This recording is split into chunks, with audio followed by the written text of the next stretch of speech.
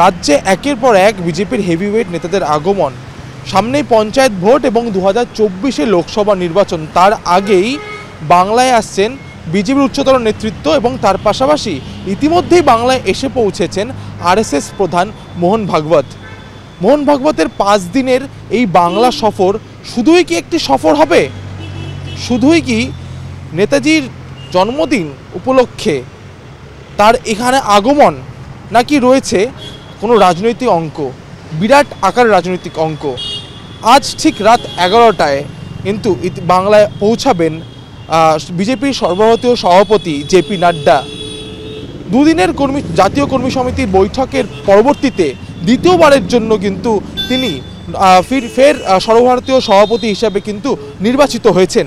এবং সেই নির্বাচিত হওয়ার পরবর্তীতে তার এই প্রথম বাংলা সফর, অর্থাৎ জেপি নাড্ডার দুদিনের এই বাংলা সফরে তিনি মূলত কোন কোন বিষয়গুলোর ওপরে বেশি জোর দেবেন?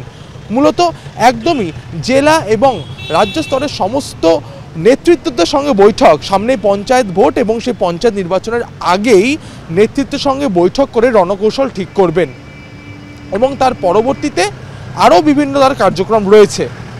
এই দুদিনের বাংলা সফরের মধ্যে মূলত বিজেপিকে আরও বেশি চাঙ্গা করে তুলতেই প্রচেষ্টা হবেন মূলত বিজেপির সর্বভারতীয় সভাপতি জেপি নাড্ডা। কিন্তু মোহন ভাগবত অর্থাৎ সংঘপ্রধান মোহন ভাগবত এই যে তার বাংলায় আগমন রাজনৈতিক বিশেষজ্ঞরা বলছে এর মধ্যে রয়েছে অনেকগুলি রাজনৈতিক অঙ্ক। একদিকে যেমন তিনি শুধুমাত্র বাংলা ছাড়াও বিভিন্ন রাজ্যের নামি দামি শিল্পীদের সঙ্গে একটি ক্লোজ ডোর মিটিং করার কথা হচ্ছে। অর্থাৎ সেখানে চল্লিশ জন শিল্পী উপস্থিত থাকবেন এবং তার পাশাপাশি বাংলায়ও দুজন নামী ধ্রুপদ শিল্পী কিন্তু সেখানে উপস্থিত থাকার কথা চলছে। সুতরাং এই শিল্পীদের সঙ্গে বৈঠক তার পাশাপাশি আরও বিভিন্ন যে দলীয় কার্য দলীয় যে সমস্ত বৈঠকগুলি রয়েছে, সেই বৈঠকগুলির মাধ্যমে কি পঞ্চায়েত নির্বাচনের আগে কিংবা লোকসভা নির্বাচনের আগে বাংলা থেকে একটি কোনো রকমের নির্দিষ্ট কোনো আলাদা আলাদা কোনো অ্যাডভান্টেজ পাওয়ার জন্যই কি মূলত তার এই কর্মকাণ্ড? এবং তার পাশাপাশি যে বিষয়টি সবথেকে গুরুত্বপূর্ণ বিষয় যে মোহন ভাগবত যেই সময় বাংলায় এসছেন, সেই সময়টা কি? সেই সময়টা মূলত একদিকে যেমন মোহন ভাগবত কিছুদিন পূর্বে আমরা জানি যে তৃতীয় লিঙ্গ নিয়ে অর্থাৎ তৃতীয় লিঙ্গের বিষয়ে তিনি একটি মন্তব্য করেছেন। তিনি তিনি সংঘকে বার্তা দিয়েছেন যে সমাজে তৃতীয় লিঙ্গের যে সমস্ত মানুষজন রয়েছেন, তাদের প্রতি তাদের দৃষ্টিভঙ্গি পরিবর্তন করতে হবে। সমাজে সমান স্থান দিতে হবে।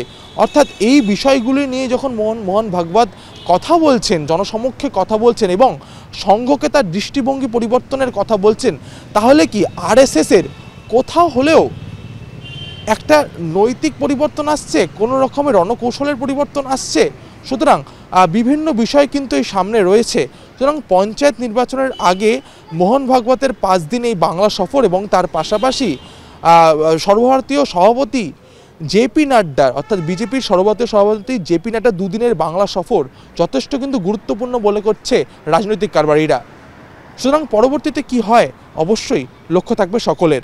ক্যামেরায় শুভঙ্করের সঙ্গে সৌভিক, সমাচার প্লাস বাংলা, কলকাতা।